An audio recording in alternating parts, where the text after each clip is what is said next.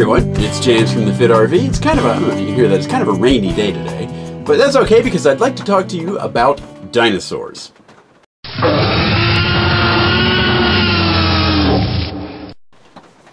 In particular, I want to talk about absorption refrigeration in RVs, like, like this guy here. So I finally had one too many frozen salads and lukewarm glasses of milk, so I've decided to do something about this. It's going to be kind of a big project. I'm going to be tackling it in sections, and we're going to get the first one today. But before I get into that, I want to tell you exactly what I think about absorption refrigeration in RVs. Yeah, get ready.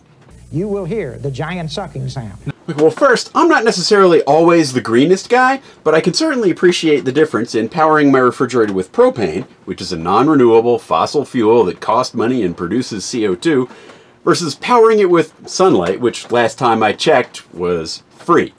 Uh, second thing, we like to go off the beaten path. We, I, I'm kind of a fanatic about getting things level, but I can't always get them as level as I would like, and I'd like to not worry that my refrigerator is either going to not work or blow up. Uh, number three, Fire! Yes, fire! Intentionally set in your RV and left unattended. Hello? Number four, big dopey holes in your RV. And then fifth and onwards, there's a whole bunch of other ridiculousness about running them. Like, well, first there's this.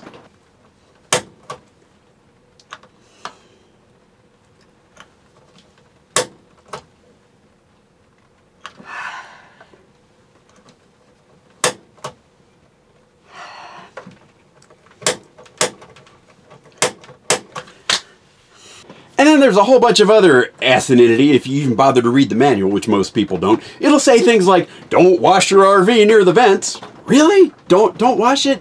And oh, if you're going to use propane, you need to disassemble and clean the burner and reassemble it every three months. It really says that. I read the manual.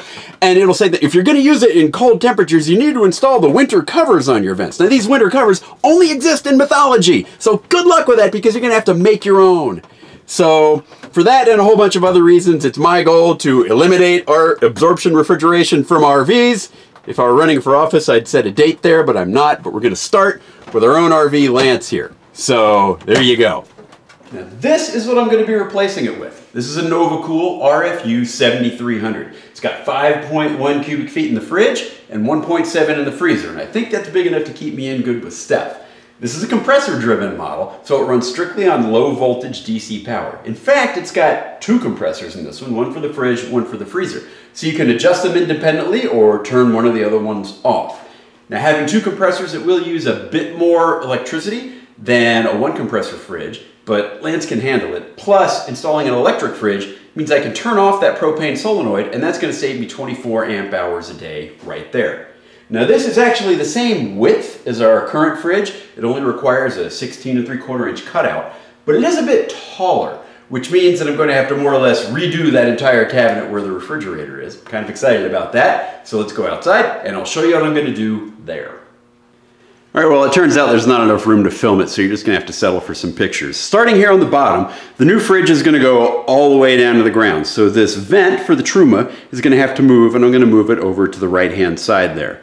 That uh, subwoofer is gonna have to go, and I'll, I've got plans for that, because my battery here, my lithium battery is currently standing on end. So I wanna set that battery down like a normal battery, and that should give us some more room in the compartment that it sits in. Now up top, the fridge is a bit taller, so this is gonna move up, and then the microwave is gonna move up and to the left a bit, and before you ask, I can't fit a convection microwave in there, so don't bother. Um, anyway, so the microwave is gonna move up into the left, and the rest is going to be storage. So now, if it ever quits raining, I'm gonna get out there and start tearing stuff out of the RV. So hopefully that'll happen today.